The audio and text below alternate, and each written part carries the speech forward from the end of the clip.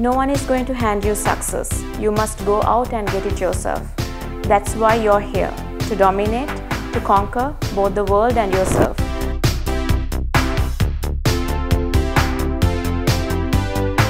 What habits helped make you successful?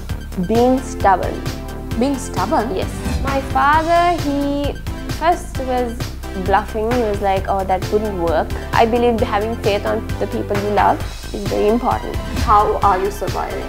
I mean, knowing about uh, Muslim uh, families and Yeah. uh, the rules and regulations. My family being the alien of the entire society. So, in general, what do you think of marriage? Marriage is a partnership of development.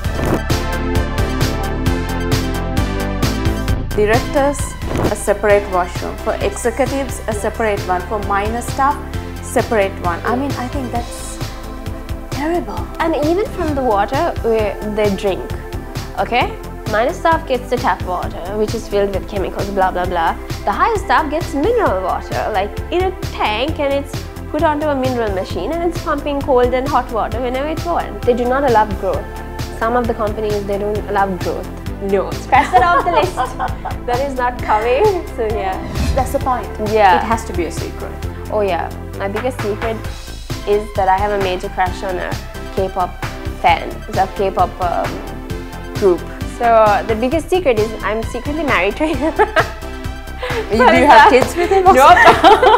nope. My mom doesn't even know about it. So